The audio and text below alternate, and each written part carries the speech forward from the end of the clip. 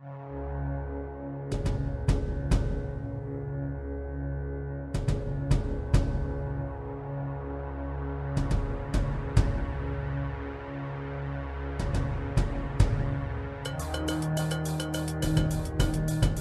has long been considered one of the world's most precious metals.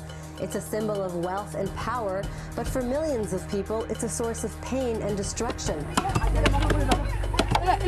Every day, men and women across the globe are searching for gold without any formal training or tools. Many of the methods used by artisanal miners are hazardous to their health and the environment. Mercury pollution is one of the biggest problems facing these miners.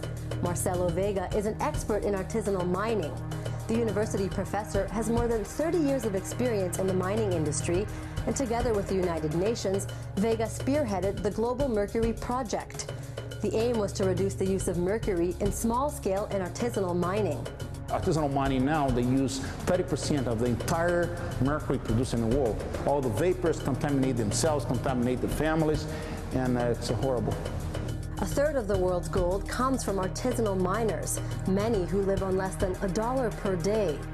These are people who spend most of their time searching for gold to help feed their families. Researchers say the best way to help improve their lives is to improve the method of gold recovery.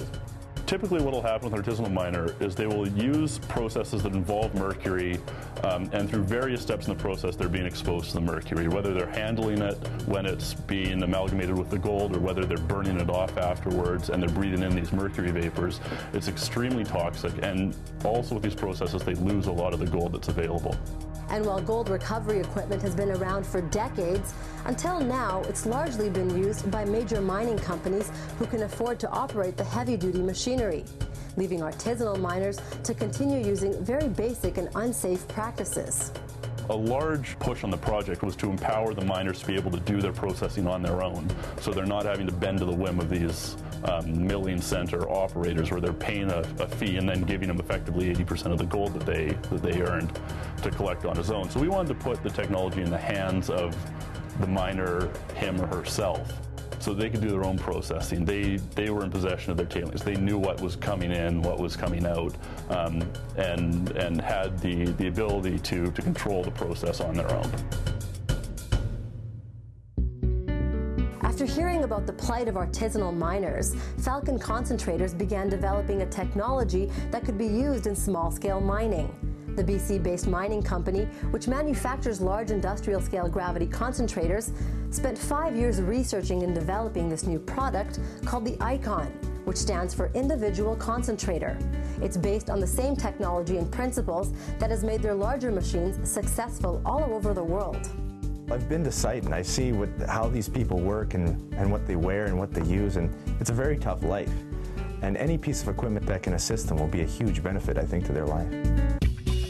What the Icon does is it creates an artificially high G-force by spinning around, as any, as any centrifuge does. And what happens is the, the heavier particles are sent to the outer bowl wall, right up the wall, and are collected in the top rings of the Icon and of our industrial machines. And that's where a rich, rich concentrate resides. And after you've run a, a certain amount of material for a certain amount of time, you rinse it out and you collect this rich concentrate. So really all it's doing is enhancing the force of gravity, magnifying those specific gravity differences, and making that separation easier. One of Falcon's international icon distributors is located in California.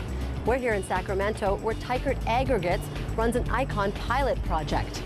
We brought an icon here so that people could come in and run test samples to evaluate the machine. I think it's great for what it's designed for. It's fabulous. Whoever came up with it was a brilliant idea. Small-scale miners who have a mineral processing background are also seeing the benefit of owning an icon. At just the fraction of the cost of large-scale equipment, the iConcentrator is an affordable option. There's nothing on the market that compares to this piece of equipment. Uh, for this price, the Icon is, is just a phenomenal piece of equipment. It'll do two tons an hour. You run it for eight hours, that's 16 tons a day. So it's a huge step change in, in throughput in what you can process. Not only does it benefit people financially, it also benefits them environmentally and through their own health. I mean, they're no longer going to use mercury with this, with this type of process. The market is huge. It's a, a, huge market there. If you just imagine 50 million people directly involved with this, and some of the guys that are going to have three, four, five machines, and uh, we just uh, came from Amazon now, and a lot of people just have, they want to have 40. You know, it's uh, quite amazing how this is multiplying, and uh, without any effort, and uh, this machine is getting a big hit. My hope is this, that you have a distribution of this machine in every country, and I can see more and more people just using this machine. These people are not going away, and they can't be forgotten. You see this stuff firsthand. It, it's tough not to do anything about it. You know, it, it's really tough to walk away, clear it from your mind, and say, oh well, maybe somebody else will do something. You know, you see this stuff firsthand, and you, and you really feel a desire to to make a difference and to help these people out. And I think that's, uh, that played a large part in, in the development of the icon. Falcon is committed to helping small-scale artisanal miners. For more information on Falcon concentrators, log on to concentrators.net.